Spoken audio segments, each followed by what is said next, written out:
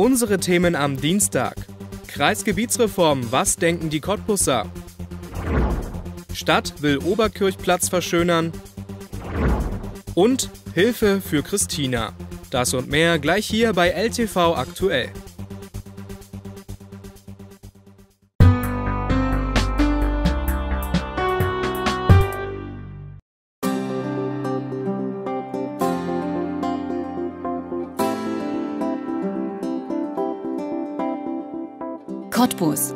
Ihr Wirtschaftsstandort. Die Entwicklungsgesellschaft Cottbus ist Ihr Ansprechpartner und öffnet Ihnen die Türen. Bei Ansiedlung, zu Fördermitteln,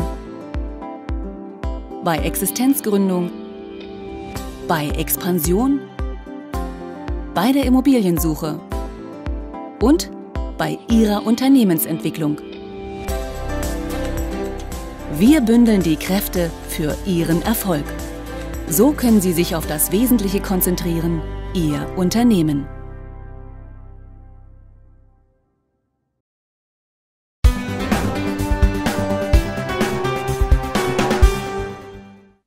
Hallo und herzlich willkommen zu LTV aktuell am Dienstag. Schön, dass Sie wieder eingeschaltet haben. Cottbus hat einen neuen Einwohner. Der kleine Phil ist am Sonntagnachmittag geboren und er ist nicht nur für seine Eltern etwas Besonderes, sondern auch für das Kaltim-Klinikum. Phil ist nämlich Baby Nummer 1000. Damit wurde die 1000er Geburtenmarke in diesem Jahr schon früher geknackt. Im letzten Jahr kam das Jubiläumsbaby erst Mitte Dezember auf die Welt. Somit ist die Anzahl der Geburten in diesem Jahr gestiegen. 2019 feiert Jubiläumsbaby Phil seinen dritten Geburtstag. Doch anderen liegt dieses Jahr schon jetzt schwer im Magen. Grund ist die anstehende Kreisgebietsreform. Politiker wollen mit der Reform vor allem Verwaltungskosten sparen. Ob das mit einer Zusammenlegung der Landkreise auch wirklich funktioniert, ist umstritten. Wir haben mal bei den Cottbussern nachgefragt, was die von der Reform halten. Mehr als 10.000 Unterschriften in knapp drei Wochen. Ein großer Erfolg für die Volksinitiative Kreisreform stoppen. 20.000 sind nötig, um das Anliegen vor den Landtag zu bringen. Es zeigt, äh, dass äh, die Menschen sich dafür interessieren, dass die Menschen sagen, ja, wir wollen hier äh, doch mitreden, mitentscheiden, das ist immer so eine andere Frage. Aber mit diesem, in der Kürze dieses Ziel zu erreichen, ist ganz klar gezeigt worden, es interessiert uns schon, was in unserer Stadt vorgeht. Oberbürgermeister Holger Kelch war einer der ersten Unterzeichner der Initiative. Gemeinsam mit den Oberbürgermeistern aus Frankfurt-Oder und Brandenburg an der Havel kämpft er gegen die Einkreisung. Wir sind die größte Stadt zwischen dem Großraum Berlin und dem Großraum Dresden. Wir sind, ich sage mal, für die Lausitz eine kleine Hauptstadt. Damit haben wir eine Verantwortung für die Region, aber natürlich auch äh, für uns selbst. Und wir sind Universitätsstadt. Wir müssen eine Ausstrahlung haben. Und das können wir am besten in der Form einer kreisfreien Stadt, indem wir über viele äh, Dinge selbst entscheiden können. Die Kreisgebietsreform soll Kosten in der Verwaltung senken und die neu geschaffenen Landkreise stärken. Die kreisfreie Stadt Cottbus könnte dann aber in vielen Bereichen nicht mehr selbst entscheiden, etwa bei der Sanierung von Schulen und Kitas und im Nahverkehr. Man beruft sich auf Erfahrungen anderer Bundesländer bei Reformen dieser Art. Wir haben uns angeschaut, was ist denn in Sachsen passiert nach der Kreisgebietsreform 2008. Auch dort wurden sehr, sehr große Kreise geschaffen und es gab die Hoffnung, naja, vielleicht können wir dadurch Geld sparen. Aber zumindest für die Zeit vier, fünf Jahre nach der Reform sieht man eigentlich gar nichts, außer dass die Landkreise eher damit beschäftigt sind, sich umzuorganisieren, sich neu zu finden. Eingespart wurde aber in diesem Zeitraum bisher nichts. Die Sorgen der Bevölkerung spiegeln sich auch in Cottbus nieder. Mehr als 1000 Unterschriften sind allein hier zusammengekommen. Hier befürchtet man vor allem negative Folgen durch die Kreisreform. Also ich habe gar nichts gegen äh, Verbesserungsprozesse, auch in, in öffentlichen Verwaltungssachen. Allerdings sehe ich das, ich komme aus Mecklenburg-Vorpommern und da hat es quasi gar nichts gebracht. Nichts, außer ein bisschen Frust und Unmut und ich sehe das auch hier ähnlich. Eh bin etwas gegen die Zentralisierung. Dass alles in einen, also in Großraum gemacht wird, das bringt nicht viel, denke ich mal. Das hat man schon mal. Diese Anonymität, glaube ich, dass man ähm, und viel mehr Zeit braucht, um Wege zurückzulegen, um Ämter zu besuchen und in diese Richtung. Eine Volksbefragung ist immer sinnvoll. Das ist ja nun ein Grundrecht in der Demokratie. Nicht? Aber was nun so rauskommen soll, ich bin mir nicht sicher bei der jetzigen Politik. Also ich weiß nicht, weder die eine noch die andere Richtung, was da sinnvoll sein soll. Was mich daran stört, ist es auch, dass die Landesregierung solche ähm, Beschlüsse fassen will oder die Kreisreform durchsetzen will, ohne im Prinzip eine Funktionalreform vorher durchzuführen, das Ganze für und wieder abzuwägen und auch, dass der Bürger in dem Moment auch nicht gehört wird. Das finde ich nicht in Ordnung. Das, was man eigentlich haben will, die Nähe des Bürgers zu den einzelnen Instanzen und zu den Politikern, die geht mit der Größe des Kreises meines Erachtens nach verloren. Und deshalb bin ich gegen diese Reform. Und deshalb habe ich meine Unterschrift jetzt gerade drunter gesetzt. Sobald die 20.000 Unterschriften zusammengekommen sind, muss sich der Brandenburger Landtag mit der Volksinitiative beschäftigen. Stimmt er dann einer Gesetzesänderung nicht zu, kann ein Volksbegehren gestartet werden. Dann sind insgesamt 80.000 Stimmen nötig.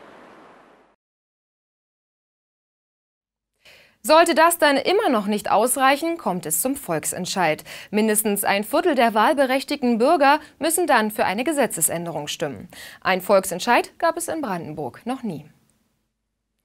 Eine Veränderung steht auch dem Oberkirchplatz bevor. Die Stadt will ihm eine Schönheitskur spendieren. So könnte er demnächst zum neuen Lieblingsplatz der Cottbusser werden.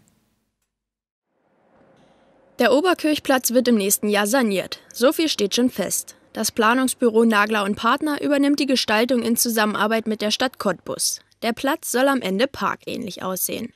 Bänke, Bäume und ein Leicherdenkmal als Zentrum sind geplant. Vor rund 20 Jahren wurde der Platz zum letzten Mal saniert. Der Oberkirchplatz ähm, hat nicht die Qualitäten, die er haben könnte. Und äh, wir haben jetzt die Möglichkeit, wir haben nochmal geschaut, das äh, Modellstadtgebiet, also Sanierungsgebiet wird abgeschlossen 2018.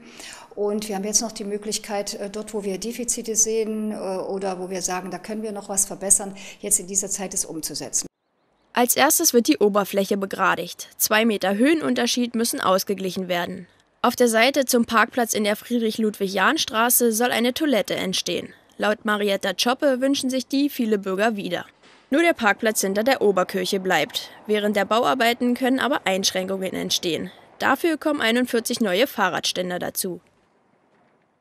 Also im Baugeschehen selber, da haben wir auch die erste Anliegerunde durchgeführt, auch mit den Großveranstaltern. Da ist alles abgestimmt, wie immer, dass während der Bauzeit natürlich Geschäfte zugänglich sind, Gaststätten zugänglich sind. Das ist einfach wichtig.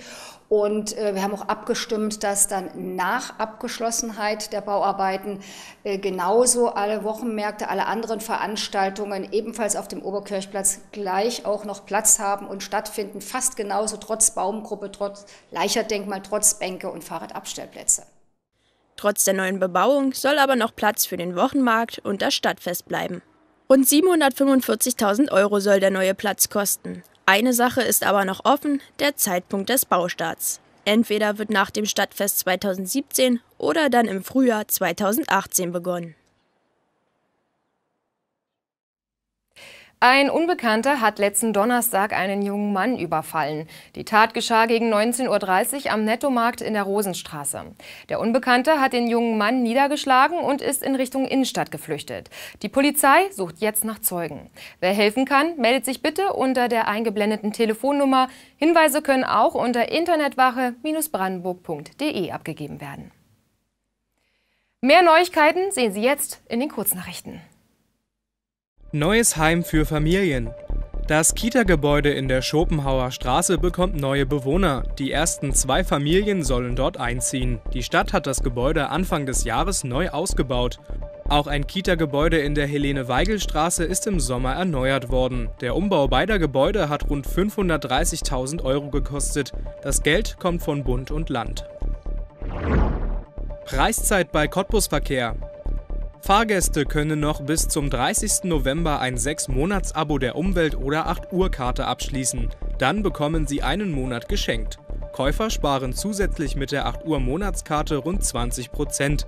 Das Antragsformular ist im Kundenzentrum der Stadtpromenade oder im Internet erhältlich. Musik zur Weihnachtszeit. Das Konservatorium spielt wieder Weihnachtskonzerte. Das Jugendsinfonieorchester mit Chören und Solisten ist mit dabei. Die Konzerte sind am 2. und 3. Advent. Um 17 Uhr geht es los. Karten gibt es direkt im Konservatorium zu kaufen. Sie machen Urlaub in einem fremden Land. Alles ist schön, die Sonne scheint, die Cocktails schmecken und sie lernen neue Menschen kennen. Doch plötzlich fühlen sie sich krank. Das geht so weit, dass sie ins Krankenhaus müssen. Für die meisten ist das halb so wild, denn sie sind ja krankenversichert. Doch wenn die fehlt, kann das schnell zu großen Problemen führen, wie bei der Ukrainerin Kristina Lomakina. Anfang Oktober nahm das Leben der Ukrainerin Kristina Lomakina eine dramatische Wendung. Sie war gerade mit einer Studienfreundin zu Besuch in Deutschland, als sich plötzlich ihr Gesundheitszustand verschlechterte. Nach einer Untersuchung bekam sie eine erschütternde Diagnose: akute Leukämie. Es war ein großer Schock für mich. 25 Jahre ganz normal leben und plötzlich so eine Diagnose. Es ist schockierend. Das nächste Problem, ein fremdes Land, eine fremde Sprache. Doch zum Glück kann sie sich auf Ina Perkas verlassen. Sie hilft ihr bei Verständigungsproblemen. Außerdem arbeitet sie im Gemeinschaftslabor Cottbus. Von dort kamen auch die Untersuchungsergebnisse. Das Labor hat Christina sofort zur Behandlung ins Kaltim-Klinikum überwiesen. Das ist äh, wirklich äh, entscheidend, dass die Patientin hier in Deutschland war und dass sie gleich im Krankenhaus behandelt wurde. Ähm, und die Behandlung war wirklich äh, gut angepasst und ähm, wenn wir daran denken, wir haben gedacht, die lebt vielleicht nur noch fünf Tage und das ist schon ein Monat äh, lang, dass sie hier im Krankenhaus ist. Und das ist ein Wunder.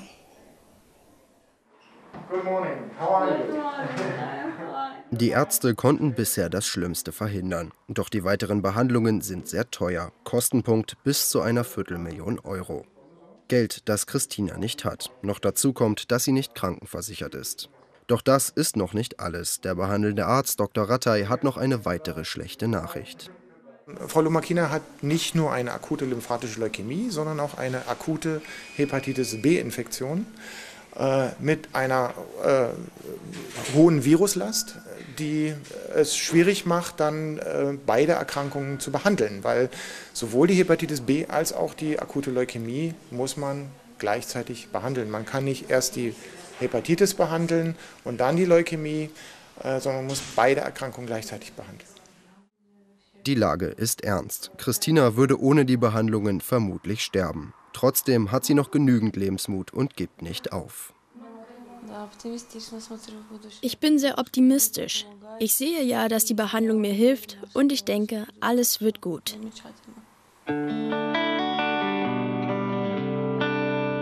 Wer Christina helfen möchte, seit ein paar Tagen gibt es ein offizielles Spendenkonto.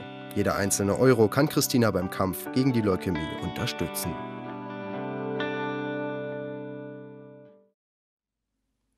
Aktuell sind knapp 4.500 Euro auf dem Spendenkonto eingegangen. Das ist leider noch zu wenig. Jede Spende kann helfen. Die Kontodaten finden Sie auch noch mal auf unserer Internetseite lausitz-tv.de. Wir sind jetzt am Ende der Sendung angekommen. Morgen wird es dann weihnachtlich. Der Weihnachtsmarkt wird nämlich eröffnet. Wenn ich dabei sein kann, bekommt dann hier bei uns ein paar Eindrücke. Also schalten Sie auch morgen wieder ein. Bis dahin, tschüss.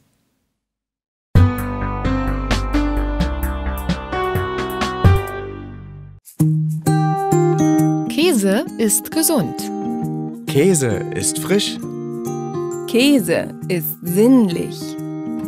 Käse ist reif. Käse ist verführerisch. Wenn Käse, dann aus dem Paradies. Wozu in die Wärme fliehen? Wenn's auch zu Hause schön warm und gemütlich ist.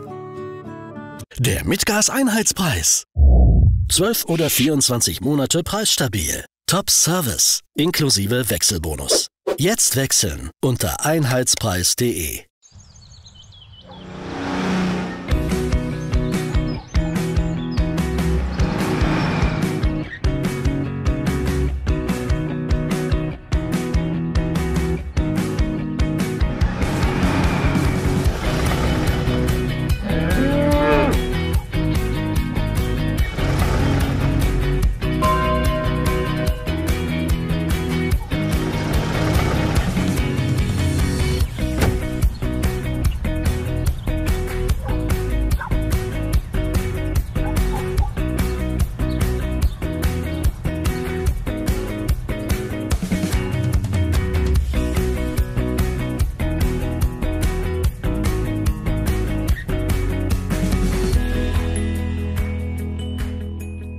Jetzt Heizöl bestellen unter 03544 50 33 63 oder online unter baywa.de/shop.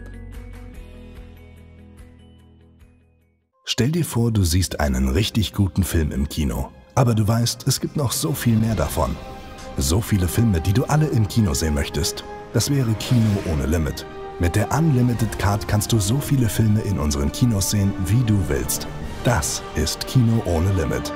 Die UCI Unlimited Card. Eine Karte, alle Filme.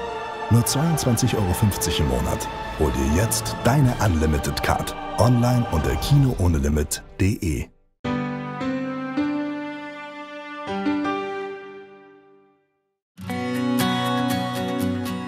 Fühlen Sie sich wie im Urlaub und das direkt vor der Haustür.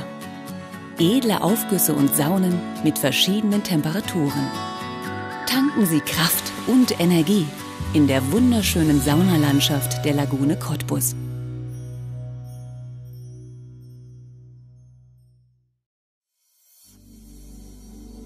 In der kommenden Nacht bleibt es trocken, vereinzelt tritt Nebel auf, die Tiefstwerte liegen bei 6 bis 2 Grad. Am Mittwoch bleiben vereinzelt Nebelfelder zurück, die klären sich im weiteren Tagesverlauf aber noch auf. Es bleibt weitestgehend trocken, die Sonne zeigt sich ab und zu bei Temperaturen bis zu 13 Grad.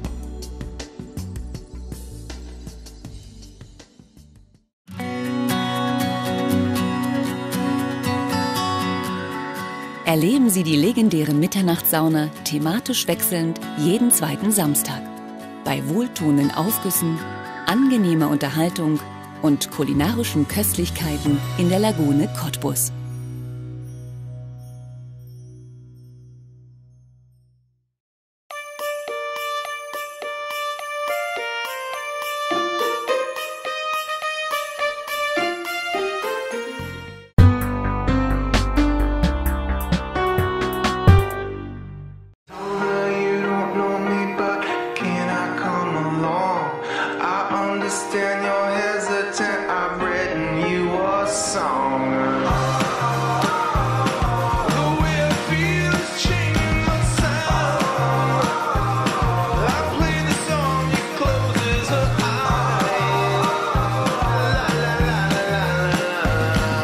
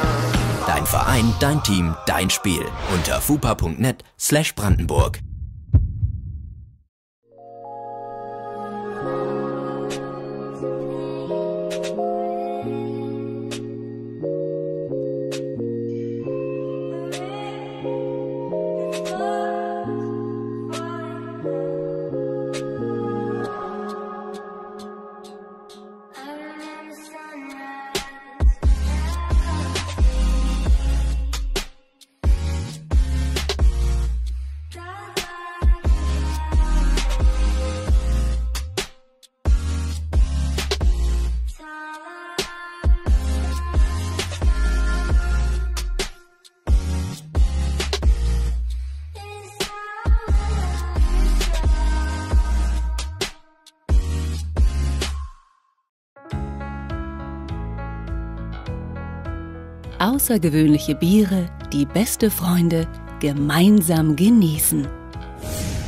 Whisky Miles inspiriert von Schottland. Mit einem charakteristisch rauchigem Aroma und einer feinen Whisky-Note. Wiener Kaffee inspiriert von Österreich.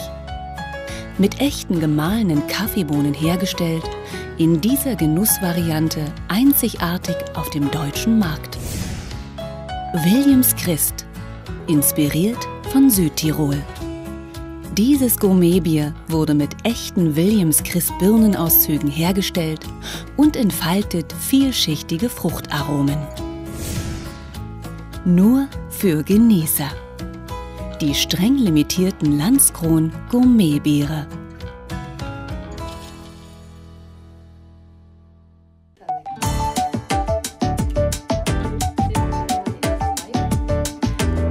Augenglasbestimmungen für nah und fern, optische und elektronische Hilfsmittel, individuelle Anpassungen und vieles mehr erfahren Sie bei uns. Low Vision Cottbus, Ihr Fachgeschäft für vergrößernde Sehhilfen und Spezialsehhilfen, Friedrich-Ebert-Straße 16.